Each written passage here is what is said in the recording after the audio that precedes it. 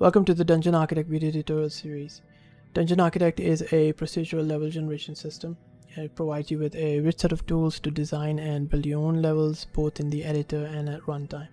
Install Dungeon Architect from the package manager and when you're done you would see the code respawn folder with all the Dungeon Architect content inside of it. So Dungeon Architect comes bundled with a lot of samples and you also have a sample browser that you can access from the Dungeon Architect menu. Go to Dungeon Architect Launchpad.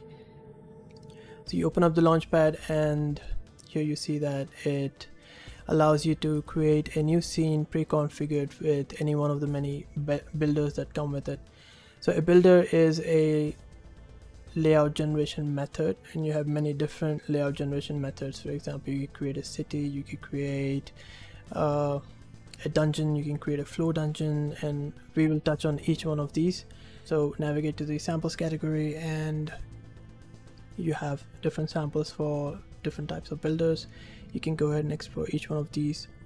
So for example we are let's go to the grid flow game sample. Now here you can navigate to the folder where it is. You can open the scene directly by clicking on this button. Or you could clone the scene. Uh, the advantage of cloning it is that you can you're free to go ahead and modify the the scene files or any data files inside of it without worrying about modifying the source content in the sample folder.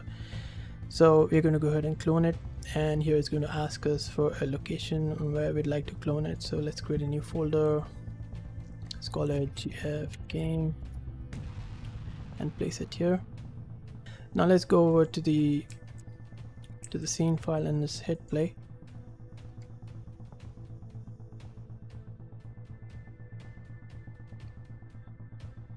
and uh, you see that we have a fully playable level.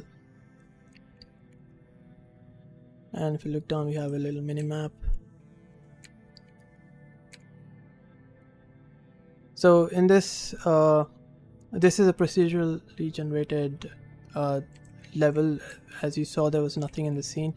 We just picked up a green key and that will help us open the green door and everything that you see in this scene that was spawned here that was done using something called a theme theme file. Stop the game and open up the demo grid flow flow file docket somewhere and hit the build button. And you see that it generates a procedural dungeon. So we were playing inside of one of these dungeons and we used the theme engine uh, which is uh, this thing to populate the dungeon with all of these with these prefabs and meshes. So you see the doors and the keys and and the treasure chests and the enemies the foliage trees. All of these was used to uh, to actually spawn the items in your dungeon.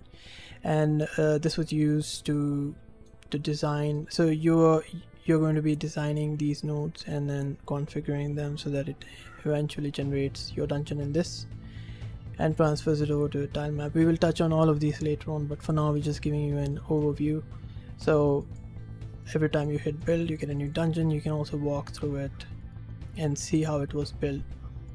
So we went ahead and added a bunch of nodes like these uh, and then we added a, few enemies on each of these nodes and each of these nodes will eventually turn into a room or a corridor or a cave. And then finally we create a tile map out of this. So you see this corresponds to this. And then we create a bunch of uh, foliage trees rocks and then merge them together and finalize it. So this is what you were uh, this is what you saw in the mini map so we can use this for mini maps as well. So this system is called grid flow system. It uh, uh, it allows you to design your design the flow of your dungeons. Open the launchpad and uh, let's have a look at go to the samples category and look at the shooter demo switch over to the scene view and hit play.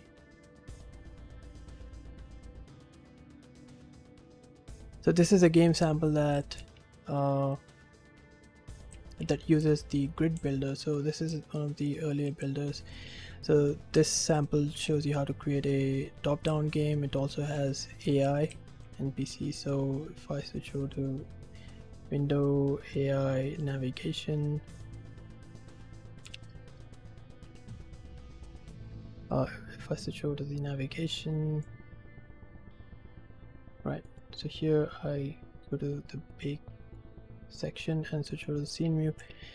You see that the uh, the dungeon was generated on the fly and then the navigation was also created created on the fly at runtime. Now let's go ahead and explore another builder called the snap grid flow builder. So this is a uh, very powerful builder that allows you to design individual rooms as prefabs and then it stitches these rooms together based on the uh, flow graph that you have designed so previously we've seen the uh, grid flow builder where we had the flow system that we've designed in a 2D grid and that was eventually later transferred over to a tile map. Uh, this is somewhat similar but it works on 3D and it doesn't work on a tile based system like the one we've seen previously. It works on a room based system so each node uh, so you design an individual room and then you specify the connection points and uh, the system will take care of stitching them together uh, and then you also have support for key locks uh, support for rooms that span more than one node like these ones you see here so let's look at this. Uh, clone this into a certain folder. Save it. So this is going to open up the the uh, snap grid flow editor. So the top section is similar to what you've seen with the grid flow builder. Uh, but down here we have a 3d viewport uh, that tells you how the rooms would be stitched together. So again we'll we will touch on these in detail in the later sections but this is a quick overview of what can be done. So uh, you know you can create some really nice interesting uh, levels. And uh, let's switch over to the scene view. And and select the dungeon game object and hit build so you see that this is built our dungeon. And each one is a we also have a debug view of the uh, of the flow graph that you've seen. Uh, you can turn this off by turning this off by changing this would give you a totally different dungeon. So I've designed my boss room the final room that we come in as a 2x2 2 by 2 by 2 so you come from here you fall down and you fight the final boss here so somewhere in this room there's a spawn room. You have alternate paths to reach the goal. You have key locks. You have treasure rooms. Uh, uh, quite a lot going on. You also have lifts like these modules that allow you to move from one floor to another. So uh, one thing to keep in mind is that the artist has complete control on what they put inside these rooms right? So this is a great blend of procedural and uh, artistic control so this also has some gameplay logic. So when you hit play this is going to build a this is just going to call dungeon.build uh, and then it's going to place the player in the spawn room. So here's our spawn room. We have a first person controller and uh, on the bottom left you see the inventory slots for holding the key similar to what we've seen in the previous uh, in the previous grid flow demo uh, you also have one-way doors. One-way doors are useful because if you have a locked door one-way doors make sure that you don't bypass that lock and enter through another path like in this case. So you're gonna go around pick up the keys and you have designed how the keys show up how the paths show up all of that in the uh, uh, in the flow designer.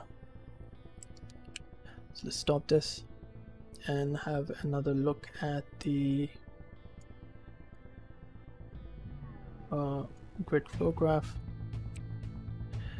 Uh, and then we are going to select this assign the module database. The module database contains the information of how the rooms look like and it's as long as you've designed it here in the preview it's going to use that to uh, build the graph based on how you design your room. So again we will touch more on this later on uh, you can select these and see how this was built. So initially we created the main path. Uh, we added another alternate path so that we can reach through this. And we have a, one more alternate path. Here we've said that uh, in the configuration we said go ahead and start emit out of the orange path and join back into the green path. So you have control on that. And then we are spawning enemies here. Uh, and then add a bunch of keylocks you can do more here right? Uh, but this is a simple example. Now let us explore another sample called the snap builder. The snap builder is uh, it uses another tool set called graph grammars and this is another way of designing your the designing the layout of your dungeons and levels. So go over to the samples and click on the snap demo clone the scene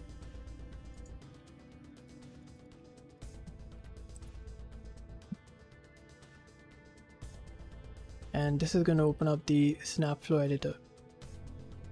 So the snapflow builder works on something called graph grammars. So what it does is you design rules and these rules are uh, eventually left and right mapping. So you have the left hand side of a rule and then the right hand side of a rule and the start rule will always be your s node and then here you would specify your high level layout of your dungeon. So my high level layout is I start with a spawn room I'm to branch out to a few room graphs and then I'm gonna have a mini boss guarding the key and I have another mini boss guarding the treasures a teleporter to jump around and finally the boss room uh, which requires the key and then the exit.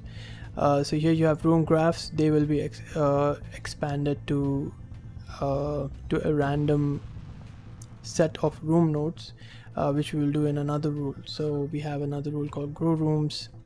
So here we have the room graph which either expands to a room in front of it or expands to a room branching out of it.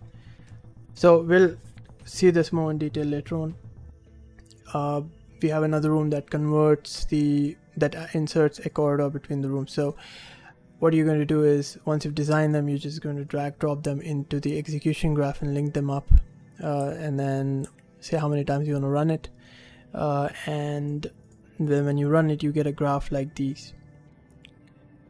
Uh, and each of these nodes like the corridor nodes the room nodes the mini boss node they correspond to a prefab that you have mapped onto your dungeon object. So this prefab would be a, a complete room and it will take care of stitching these rooms together. So this is what it does. You use this graph to define you use these rules to define the graph.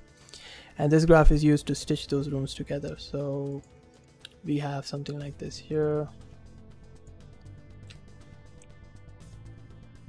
So this is following the exact same uh, the, the same layout rule that we've designed over here. But every time you run it you get a different dungeon. So uh, you have infinite variations of the dungeons that honor the the rule set that you have defined.